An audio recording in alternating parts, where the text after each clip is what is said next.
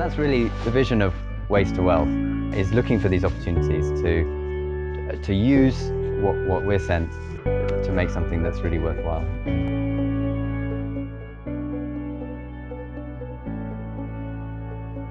Dealing with plastic waste in an environmentally friendly and sustainable way is something that all resorts in the Maldives struggle with.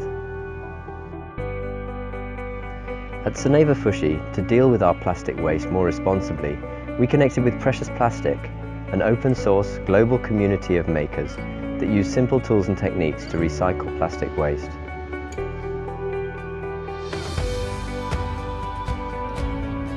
Using their machine building tutorials, help from our engineers and some creative use of waste materials, we built our own plastic recycling machines at Soneva.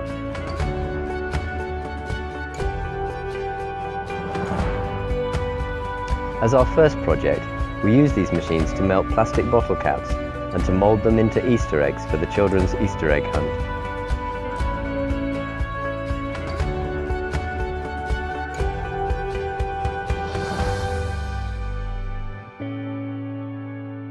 We're learning a lot and we've started building more machines. We look forward to helping and encouraging others to join this initiative so we can all manage our plastic waste more sustainably.